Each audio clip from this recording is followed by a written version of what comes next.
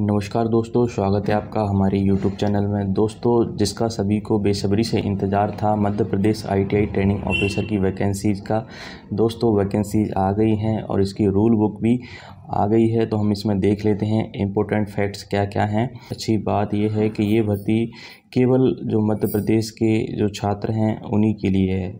परीक्षा केवल मध्य प्रदेश के मूल निवासी के लिए ही है। अब दोस्तों, इसमें जो इम्पोर्टेंट डेट्स है, उसके बारे में हम यहाँ पे देख लेते हैं। जैसे कि आवेदन भरने की प्रारंभ तिथि एक नवंबर 2022 है। आवेदन भरने की अंतिम तिथि पंद्रह नवंबर 2022 है। आवेदन में संशोधन करने की जो तिथि है, एक ग्यारह दो हज़ार बाईस, जिस दिन से ऑनलाइन स्टार्ट होगा, उसी दिन से आप अपने फॉर्म में करेक्शन कर सकते हैं। और करेक्शन करने की जो अंतिम डेट है, बीस ग्यारह दो हज़ार बाईस है। यहाँ पे परीक्षा का दिन एवं दिनांक जो है सोलह बारह दो हज़ार बाईस से प्रारंभ होगा। मतलब सोलह दिसंबर से परीक्षाएँ आपकी स्टार्ट हो जाएँगी।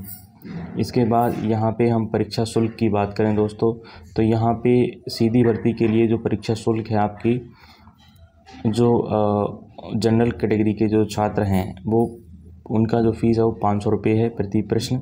मतलब अगर आपने दो ट्रेड से आई कर रखी है या फिर जो बीटेक या डिप्लोमा के जो स्टूडेंट होते हैं, जैसे किसी ने मैकेनिकल से कर रखा है तो वो फिटर और जो और भी मतलब मैकेनिकल से संबंधित जो ट्रेड हैं, उनमें फॉर्म भर सकते हैं।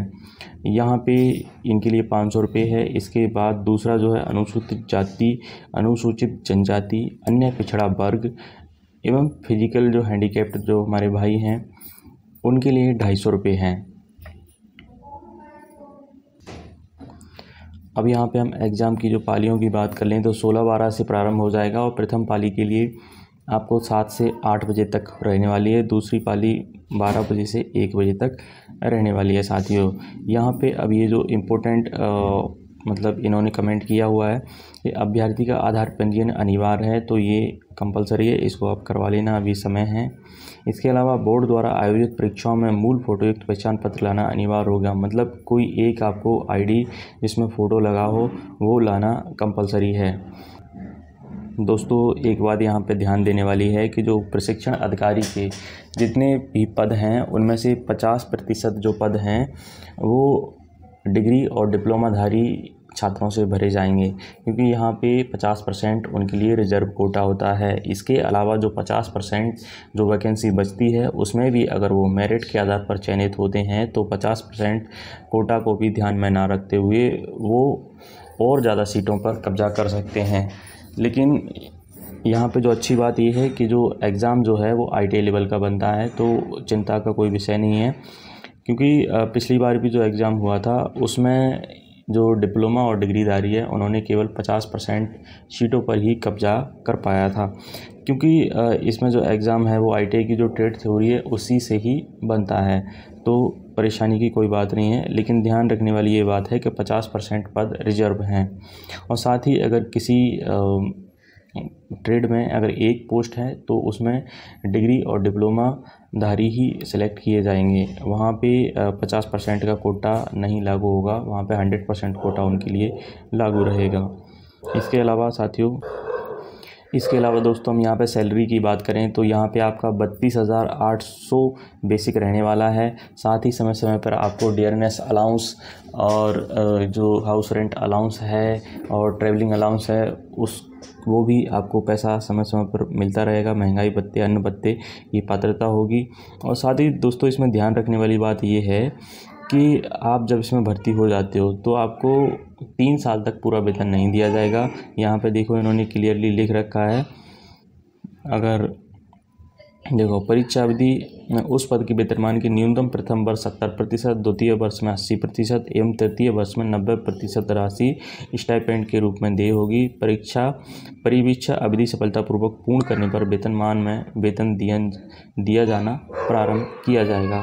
दोस्तों, यहाँ पे जो इन्होंने बात बोली है, इसका मतलब ये है कि आपको ना तीन साल तक ये प्रोविजनल पीरियड में रखेंगे और आपको जो सैलरी के रूप में स्टाइपेंड दिया जाएगा आपको जेब खर्च के लिए तो जैसे आपका बत्तीस हज़ार आठ सौ बेसिक है तो इसका आपको दोस्तों पहले साल सत्तर परसेंट दिया जाएगा, दूसरे साल जो है अस्सी परसेंट दिया जाएगा और तीसरे साल नब्बे प्रतिशत दिया जाने वाला है साथियों। ये ध्यान रखने वाली बात है।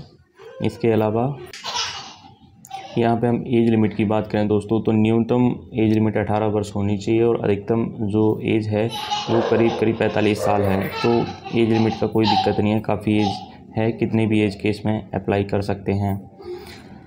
इसके अलावा दोस्तों, यहाँ पे हम बात कर लेते हैं इसकी जो एग्ज़ाम पैटर्न है, उसके बारे में। तो दोस्तों, इसका जो एग्ज़ाम है, वो सौ इसमें क्वेश्चन आने वाले हैं।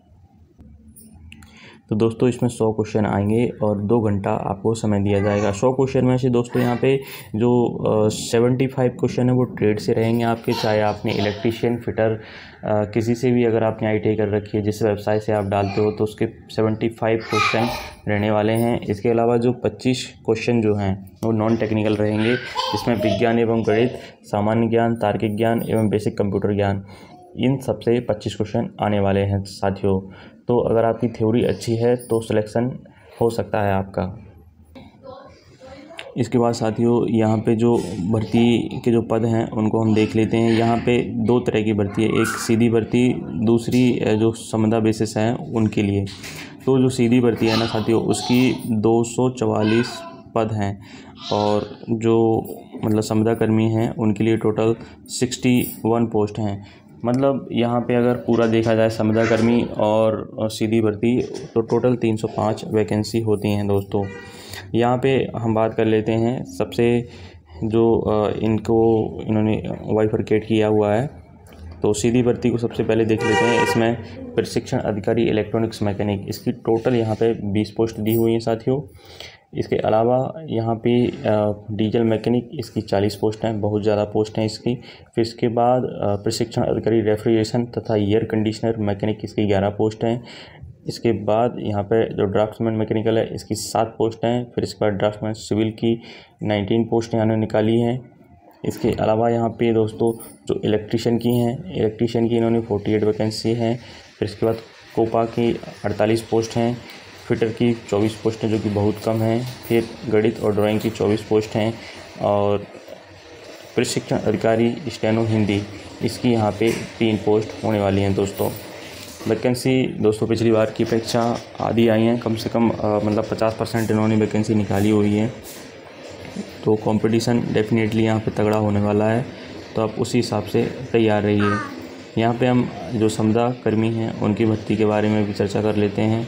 इलेक्ट्रॉनिक मैकेनिक में दोस्तों यहाँ पे पाँच पोस्ट हैं और डीजल मैकेनिक में दस पोस्ट हैं। एसी एंड जो रेफ्रिजरेटर है, इसका तीन पोस्ट हैं। ड्राफ्टमैन मैकेनिकल की दो पोस्ट हैं। ड्राफ्टमैन सिविल का पाँच पोस्ट है यहाँ पे। और इलेक्ट्रिशियन का बारह पोस्ट है दोस्तों। और यहाँ पर कोपा का बारह पोस्ट है, प्रशिक्षण अधिकारी फिटर का छः पोस्ट है। गणित एवं ड्राइंग का पाँच पोस्ट होने वाला है दोस्तों यहाँ पे, और हिंदी स्टेनो का एक पोस्ट है। टोटल मिला के सिक्सटी वन पोस्ट है दोस्तों यहाँ पे।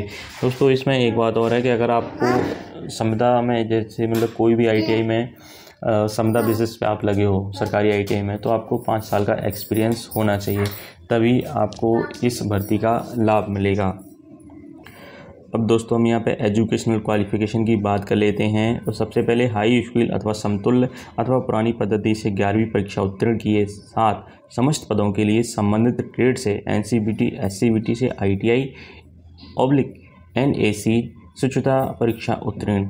मतलब आपने अगर दसवीं क्लास और आई टी आई कर रखी है तो आप इस वैकेंसी के लिए एलिजिबल हो।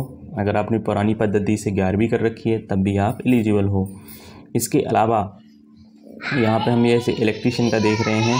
तो इलेक्ट्रीशियन वायरमेंट ट्रेड के लिए हाई स्कूल समतुल पुरानी पद्धति से ग्यारहवीं मतलब इसमें इलेक्ट्रीशियन ट्रेड के लिए इलेक्ट्रीशियन और वायरमैन दोनों ही ट्रेड यहाँ पे एलिजिबल हैं। डिग्री डिप्लोमा की बात करें हम यहाँ पे तो A I C T oblique U G C से मान्यता प्राप्त किसी विश्वविद्यालय बोर्ड संस्था से electrical electrical engineering electrical engineering industrial control electrical तथा इलेक्ट्रॉनिक्स पावर सिस्टम इलेक्ट्रिकल तथा इंस्ट्रूमेंटेशन इलेक्ट्रिकल ऊर्जा से इंजीनियरिंग टेक्नोलॉजीज़ में स्नातक उपाधि अथवा पॉलीटेक्निक डिप्लोमा यहाँ पे इलेक्ट्रिकल और इलेक्ट्रॉनिक्स से अगर आपने पॉलीटेक्निक और डिप्लोमा कर रखा है तो आप इस वैकेंसी के लिए एलिजिबल हैं दोस्तों। इसके अलावा दोस्तों, कोई भी जानकारी अगर मेरे से छूट गई हो तो आप मुझे कमेंट कर सकते हो, पूछ सकते हो, आपको जवाब दिया जाएगा। दोस्तों, वीडियो अगर अच्छी लगी हो तो चैनल को सब्सक्राइब करें और वीडियो को लाइक एंड शेयर करें। धन्यवाद।